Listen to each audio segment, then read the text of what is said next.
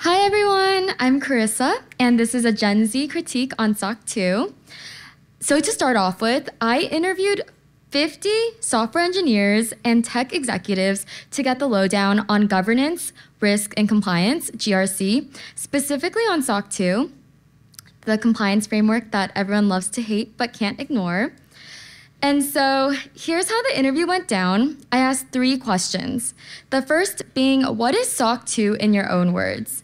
And are there any brave souls that would like to share their take on what SOC 2 is? Yes. It's an IT report, an application that is presenting the company's um, IT infrastructure around security. Um, some, somewhat, right? But you are the only person who answered this question amongst the 20, 30 people here. Yes. It's a way to prove that you're a large enough company that you can afford to give money to Coalfire. I think it's so funny that you mentioned that. Uh, um, but anyways, this is some response I got. But before I like go any further, I'm going to spill the tea on the survey. And spilling the tea is just like giving you gossip in Gen Z slang. Um, here are some people who answered. Someone said a nightmare of compliance that feels more sorcery than anything else. NGL, I have no idea other than it's something that smaller companies often can't afford. A big pain in the butt, or maybe a distraction from making redacted secure. And I honestly have no idea, although I came across it while setting up some DB related monitors.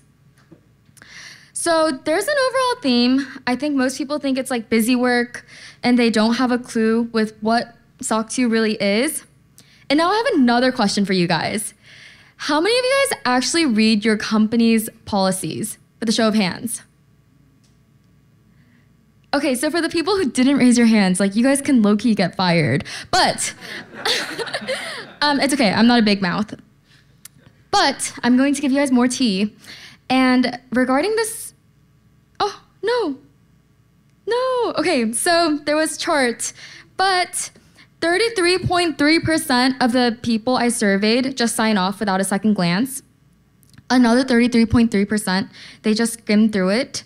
Um, and another 10%, they don't even read it at all. And then 10%, they actually read through the policies, which is a really low number. And the other 13%, I think they were just like vibing with the survey, honestly. So, what is the key takeaway here? Software engineers are allergic to SOC 2. And most people are not oblivious to SOC 2 unless they're higher up in their career ladders, like CISOs. But since not a lot of people know what SOC 2 is, is this a good or a bad thing? And this is what we'll dive into in this talk. So, hi everyone. Today I'll be dropping a Gen Z critique on SOC 2. And who is Gen Z? Um, me and probably most recent batch of hires at the company you're at. And before I go any further, I just want to quickly introduce myself. Um, I'm Charissa. I've actually became interested in cybersecurity since high school when I competed in different CTFs and security competitions. I then went on to Berkeley and started immediately at Semgrep as a security TPM. And during my time there, I actually got a lot of hands-on experience with SOC 2 and GDPR compliance. And then, just like a fun fact, I'm a content creator for fun. Okay, so this is our agenda. We'll dive into what SOC 2 is, what the implementation entails. Um, I'll also break down the entire process for all of you guys. And then we'll hit some of the benefits and my critiques on SOC 2 and the closing statement and so forth. Also, quick disclaimer are there any auditors here? Oh. I don't want to offend anyone. I just want to keep it very fun and informative. I'll be using Gen Z slang throughout with translations on the bottom. So, yeah, let's get started. So I can create an specific. So SOC 2 is so boring. I don't know if you guys know, but SAR is the new SO for Gen Z, but you need to have it with the Australian accent. Um, so it might seem boring at a first glance, but it's essentially a framework for auditing and reporting on controls related to the five trust service criteria, which is security, availability, processing integrity, confidentiality, and privacy. These criteria form a framework for organizations to demonstrate their commitment to maintaining a secure environment. And the AICPA crafted it crafted SOC 2 in the early 2000s as a response to the need for standardized data production. Thank you. Uh, so I I um, I love this talk, and I loved how uh, you talked about AWS, GCP. Uh, Oh, sorry. Oh, sorry, sorry. I thought someone was asking a question. My bad. Um, anyways, these criteria form the backbone of SOC 2. And so it's the gold standard for compliance trying to certify their security don't have to efforts in about when it America. And if you're doing give you an B2B sales, Cloudflare. I consider that a cloud environment, and that's something I actively worry about access. Um, one, I would ask, what are the Oh, tools no worries, no worries. that you would point me to to start doing this kind of analysis in those kinds of environments? And uh, two, how would you kind of um, hypothetically, even if there isn't a tool,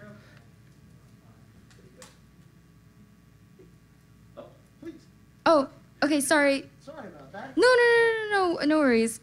Um, That was stress test two.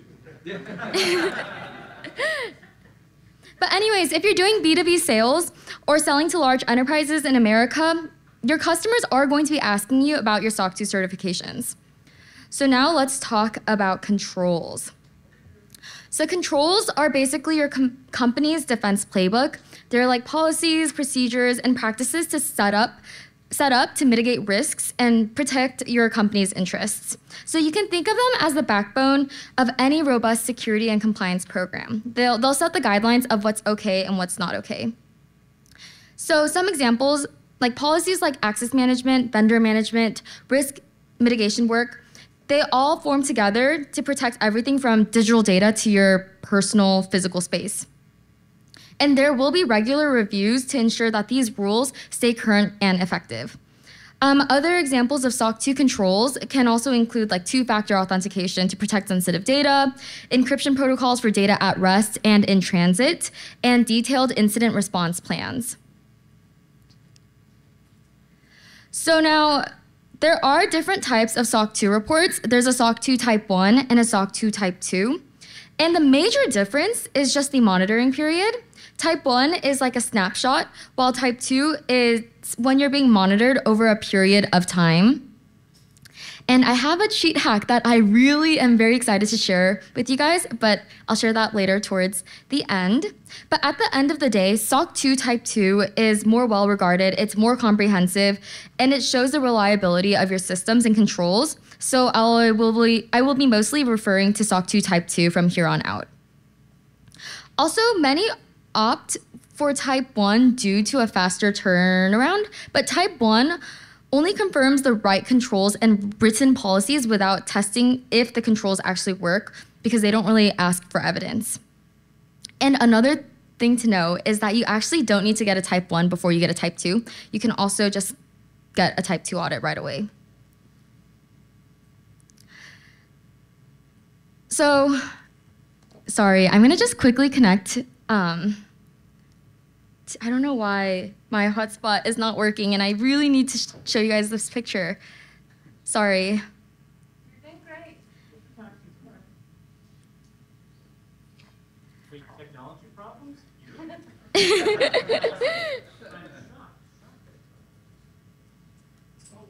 Let's roast the technology.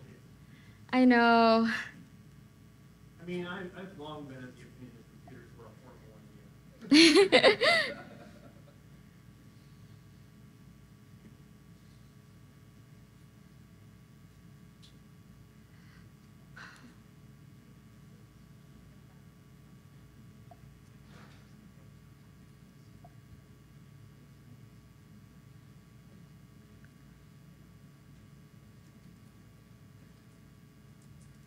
Okay, if this picture, if I can't connect to my hotspot, just imagine that there's a picture for me. Yeah.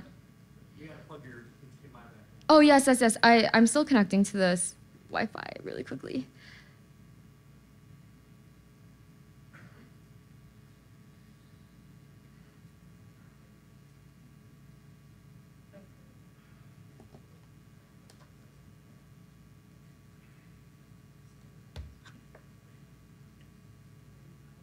Sorry. I, I have been, but it hasn't been connecting. Okay, I think I'm barely. I have 14 minutes left. Okay, I think it should.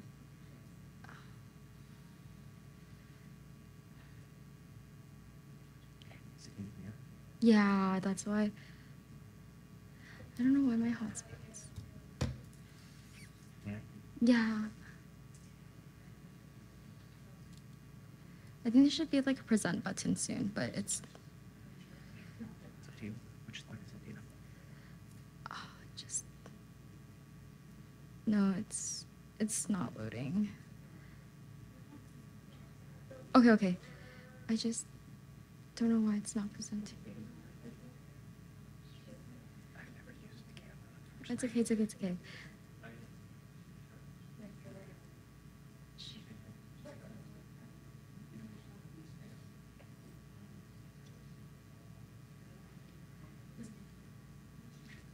Unfortunately, that's the only one. No, that's fine.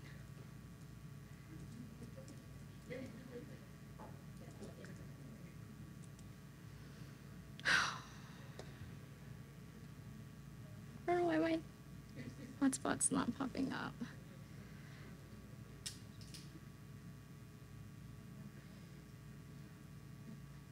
Okay, it's okay. I'll just. Sorry about that. No, no, no, no. It's okay. It's okay. Try my hotspot later. That's. Oh shoot.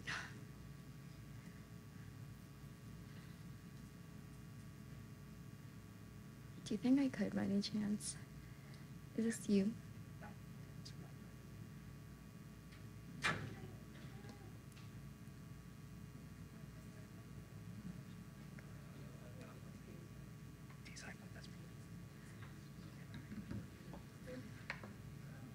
Sorry, guys. Just one minute.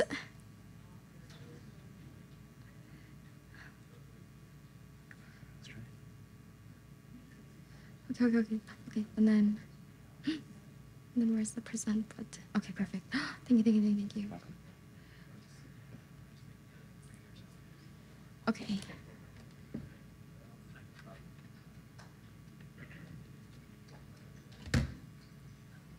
Alright, we- I'm just gonna stay right here. Thank you, thank you.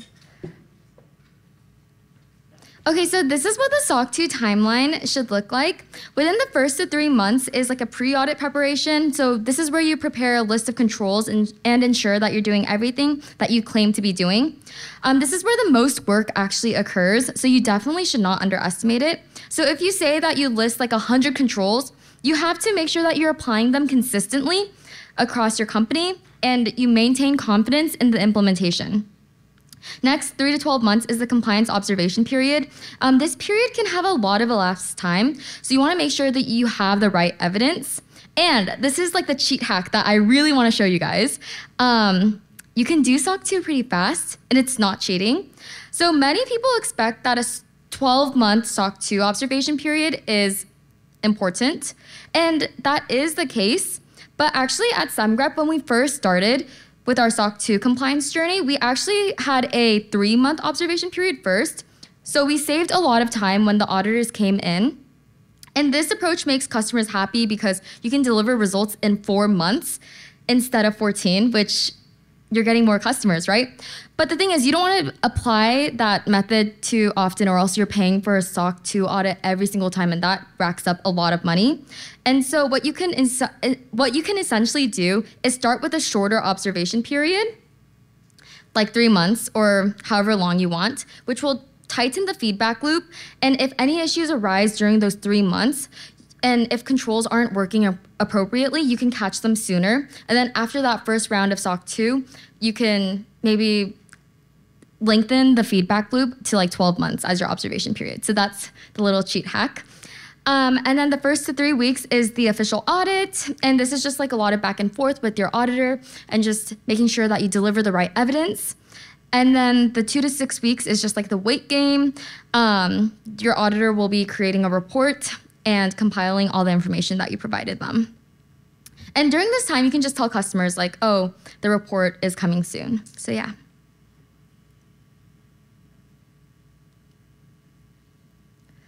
So there is quite a process with SOC 2. You need to prepare and make sure that you are aware with the trust service by criteria and you define your audit scope. You also have to make sure that you spot the weak points in your controls and tighten them up and create detailed records of your policies, procedures, and controls. And like you want to make sure that you also establish clear goals within like your company's security compliance ob- objectives to make sure that you can identify key points throughout your organization. So, the SOC 2 timeline varies depending on the complexity of the organization and your existing security programs as well too. And larger organizations or those with a complex infrastructure will require more time with more compliance and more of a longer observation period. But it's also really essential to engage in stakeholders from different departments to ensure a comprehensive understanding of security practices. So overall, you can have a smoother audit process. There's a lot of organizations and departments in your companies that are all affiliated with getting your SOC 2 compliance. Like, for example, the engineering infra team. Um, you would have to work with controls regarding like access control, change management, code review, SRE, it's like incident response, monitoring and logging, and creating like a disaster tabletop, um, and business it, business continuity plans. HR, you need to make sure you get background checks, security aware- awareness trainings, and making sure you have like the proper termination procedures. Sales, data protection, security, vulnerability ma- management, even marketing. Like no one ever really talks marketing, but they're getting a lot of personal information. So you want to make sure that you're communicating throughout with in the different departments in your organization. So now I'm like very excited to show you guys this word. Maybe you guys know it, Rizz. um, it's the new word for charisma, and you can definitely rizz up your customers with your SOC 2 report, honestly. But essentially, it's just it's like slang for style, charming someone, and so forth. But I sort of wanted to talk about like the benefits of SOC 2. And even if your customers aren't already asking for the SOC 2, passing a SOC 2 audit objectively proves that you're taking steps to prevent a data breach. Um, it can also be a game changer in customer relationships, especially in a world where data breaches often make headlines. Having SOC 2 certification assures customers that their data is safe in your hands because you're taking protective measures. Also, this trust can translate into more increased business opportunities because it's like good credibility, right? As clients are more likely to partner up or with companies that prioritize security. Um, another benefit to keep in mind is that companies will also regularly reject potential vendors for a lack of SOC 2 certification. Um, even though it's not mandated, a lot of companies actually look for SOC 2 certifications. It's not like Europe and GDPR, but a lot of companies will look look at it. Another thing to keep in mind is that it SOC 2 also enforces security basics and it keeps and it makes sure that you're building continuous living processes. Um, especially in a world where there's so many things that are happening, so many changes, so many technical complications, and so forth, by making sure that you're regularly updating security practices and addressing vulnerabilities, um, this can make sure that you and your company are maintaining compliance and also improving your overall security posture. And I think this overall approach will also make sure that you're staying ahead from any evolving threats in the future and building customer um, trust. So now for some critiques. Um, when did CPAs become certified lover cybersecurity experts? Um, so certified lover boy is from Drake. If y'all are maybe not aware, Drake is the rapper who was just like in the headlines recently. um, but CPAs didn't really major in computer science or security. So auditor quality is really important. Um, and some are strict while others may not be. Another thing is that auditors can be susceptible to cyberdazzle. And cyberdazzle is like a term that I learned from my manager, but it's like when someone who isn't as technical might see something and might see something technical in front of them, like regarding like evidence that you provide them. And it could maybe hypothetically lead the auditor to not conduct an audit properly. That's just like a hypothetical situation for you all auditors here. Like I know you guys are probably doing things great. Um, but the quality of the audit very much depends significantly on the auditor's expertise. And just making sure that you select an auditor with a strong background in cybersecurity can enhance the audit process throughout.